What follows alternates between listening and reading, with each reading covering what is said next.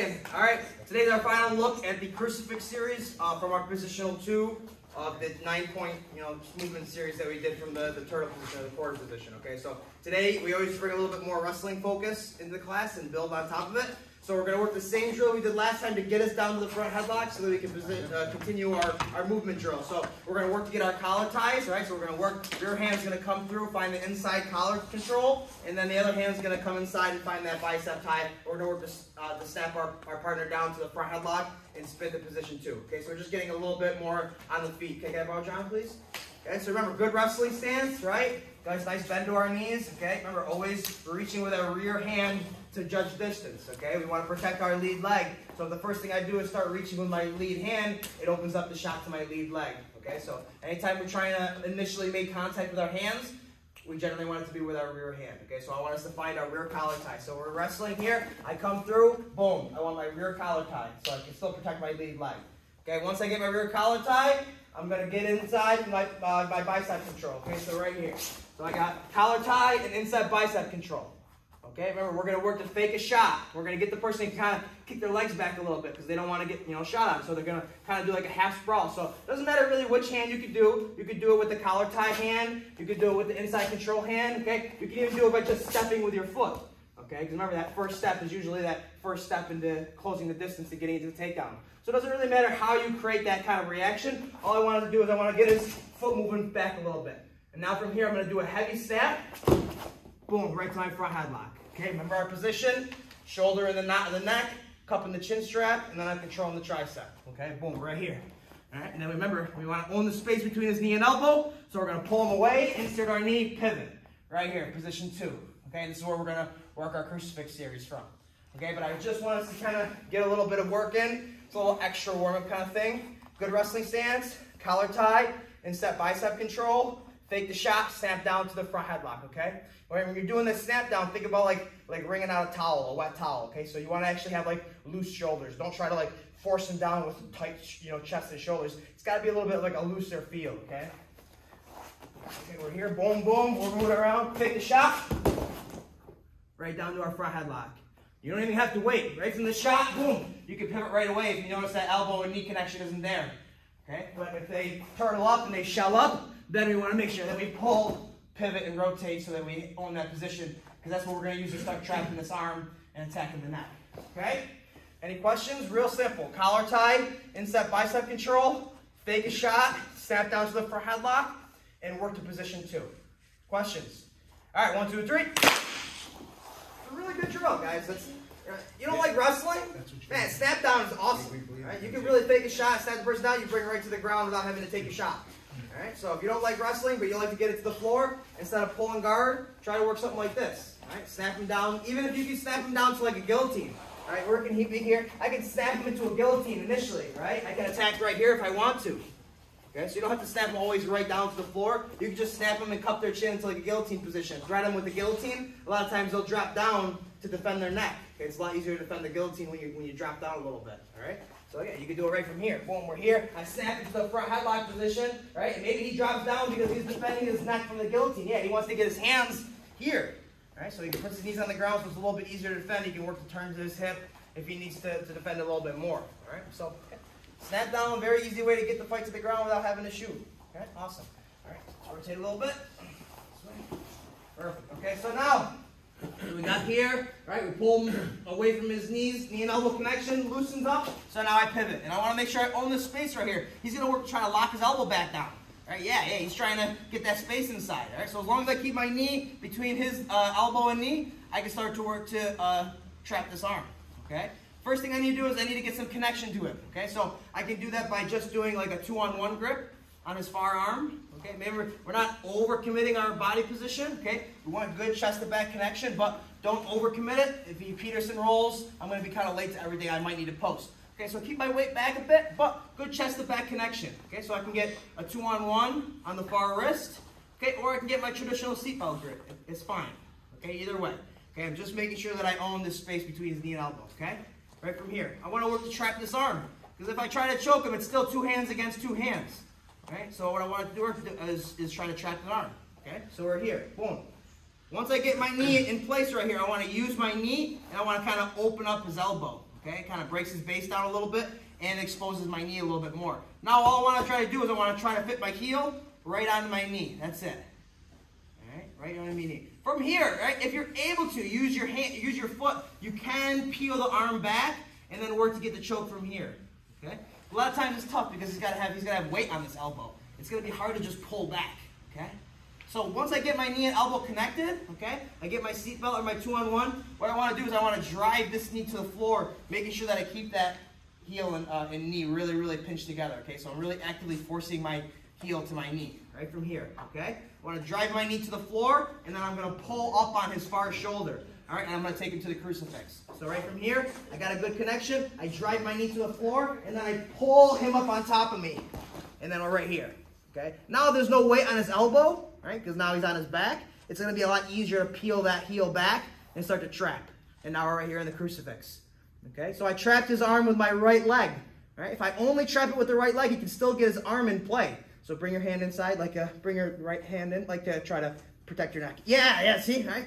Right, just so he's got long enough arms.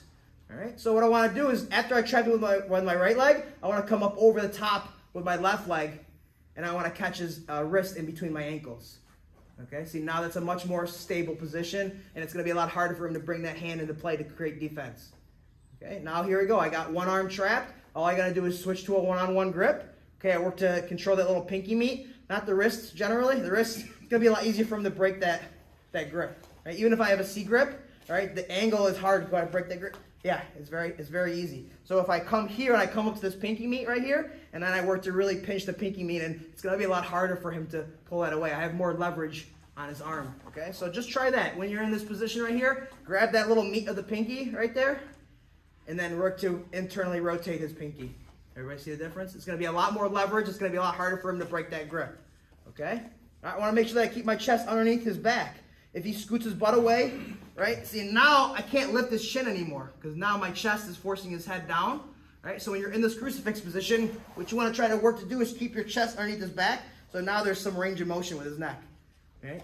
So now if he drops his chin, I can still work to lift it with my with my knuckle, and I'll get into how to do that. Okay, but that's the big thing is don't let him scoot away too much. If he does, we come up on top and we just work the crucifix from the top position. But we're in this nice back position, so we're here. Okay, if he drops his chin, we're gonna find this little knuckle right here, and we're gonna find where the jawline goes from up and down to like back and forth. Right, uh, the jaw's kind of like an L shape, so we want to find that little crook of the jaw. I want to put my knuckle right in it, and then I want to use it to like pry. All right, so it's like a little can opener. Once I lift it up, I keep ratcheting my hand until I get underneath his neck, and then I find his far lat, and then I connect to it. Okay, if I got long enough arms, you can grab your own shoulder, but I don't, so I just grab the lat right here. I cover it with my chin, and then I pull back with my elbow and finish it with one arm. Okay? If you can develop that one arm strangle, or that one arm choke, all right, it's going to be a lot easier to finish. If you always need that second hand to get in play, it gives him a free hand to start to defend right away, right? I have to let go of that one-on-one -on -one grip before I can get that second hand to, to, uh, to help choke, all right? So uh, back to the turtle position. So we're just working the crucifix to the, uh, to the rear naked choke. So I pull, insert, pivot. Here we go. I got my seatbelt connection. Even if he tries to bring his elbow back in, I'm still there.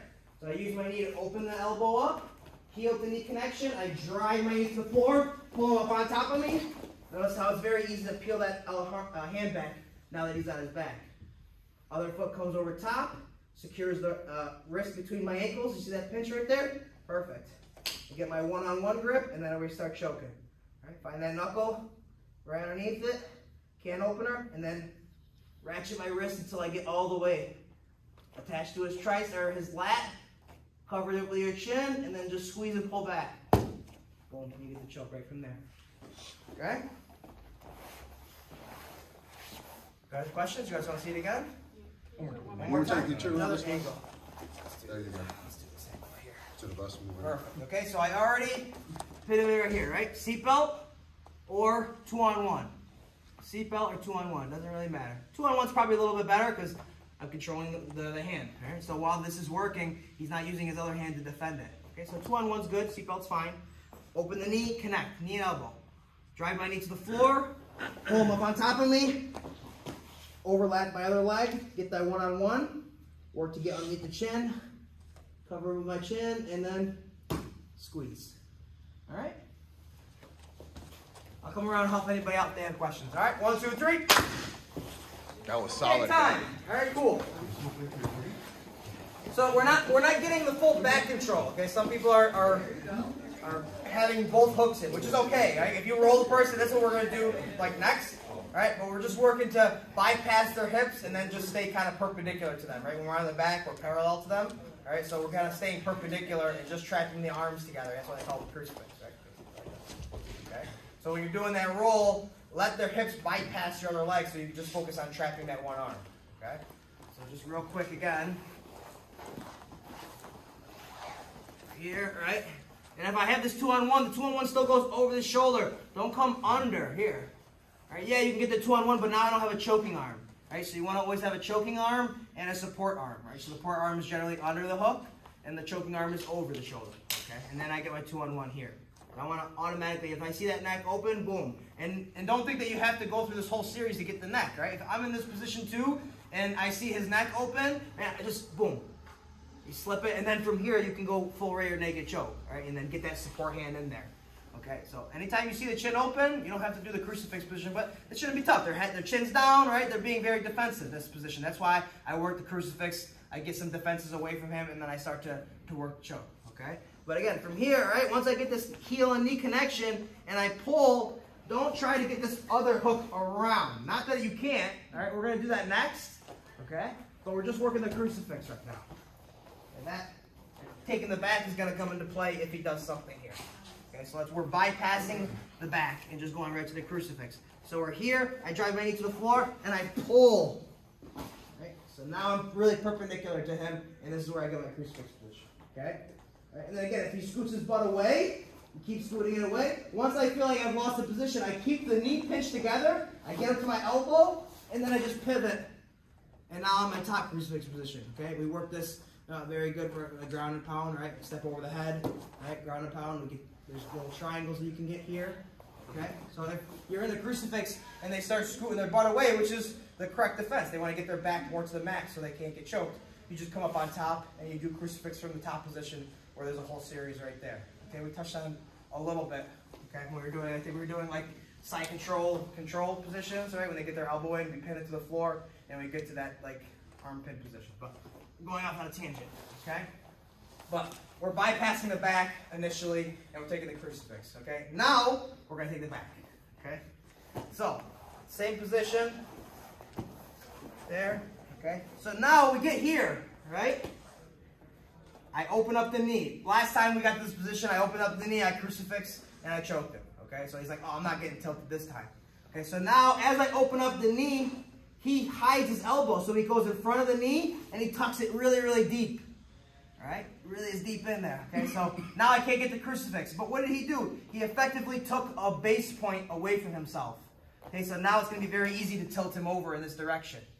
Okay, so he tucked that elbow in to prevent getting crucifix, but it took a base point away. Okay, so let's take advantage of it. And we're just going to do a very simple, that same almost exact tilt, and now we're going to just work to get to the back. Okay? So again, we get the knee and elbow in here, right? I go to expose the elbow, he tucks it in. Okay, now watch the little switch, right? So my right now my right knee is down, so I'm gonna switch. I'm gonna put my left knee down, and my right leg's gonna go up, and I'm gonna pull him on top of me. Okay? This is gonna be my first hook. Okay, so watch slow motion. So we're here again, two on one, seatbelt doesn't matter. I'm gonna switch, and now I'm gonna pull him on top of me, and this is gonna be my first hook right here. I continue the roll, and I get my second hook in. Okay, now I just have the back. Very, very simple.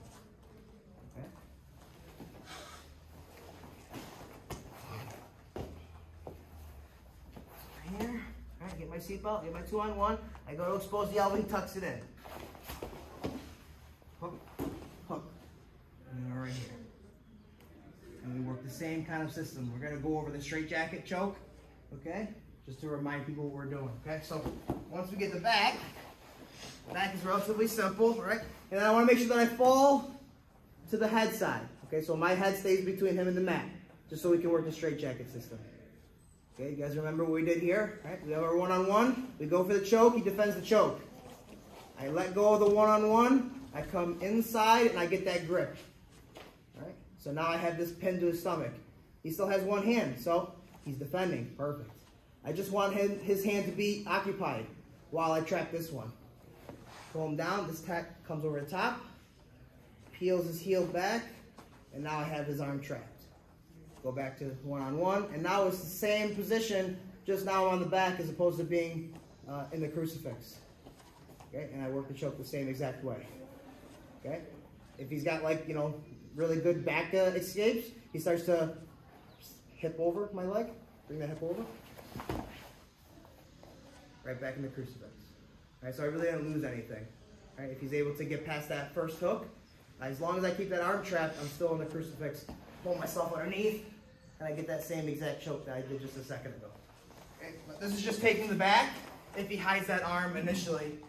So it's going to be a little easier to get the crucifix. Uh, and once we get the back and we do that straight jacket system. Okay? So everything's the same here. Boom. I go to get the crucifix, he tucks the elbow in. Alright? Switch my base, drive my shoulder to the floor and pull him on top of me. My right hook is the first one in. There it is. Second hook comes around afterward, right? First hook is more important, right? This hook right here, this is keeping his hips locked in, so if I can't get this first hook, in, the second hook in, maybe he brings his knee in, right? That's fine. I can just cross my ankles together and just pinch my knees. I still have the same kind of control, okay? And then eventually I can work to do the straight jacket. Right? Again, he's here, he grabs that hand, I grab that hand, I pull it down, he defends with the other hand, I get that trap. Cool. And the same idea. Get underneath the chin, tuck, squeeze. Okay. We did a deeper look at the straight jacket system, you know, year, uh, weeks past. You can go back and review it. Okay. But this is over here. Okay. Big thing I want us to do today is just take the back from that crucifix position. Just getting that transition to the back. One more time. So we're here. All right. Pull, chuck, pivot. I go for the crucifix. He tucks his knee in. Switch, hook goes in. I want us to try to rotate all the way so that my head is between his head and the mat. Just makes the straight jacket a little easier to get to. Okay, again, I choke, he defends. Come inside, I grab that wrist, he defends. Trap this arm.